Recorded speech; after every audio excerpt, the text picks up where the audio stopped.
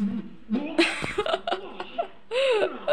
my god!